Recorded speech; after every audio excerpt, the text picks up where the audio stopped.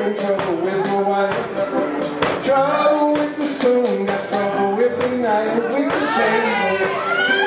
Trouble with the chair, I got trouble.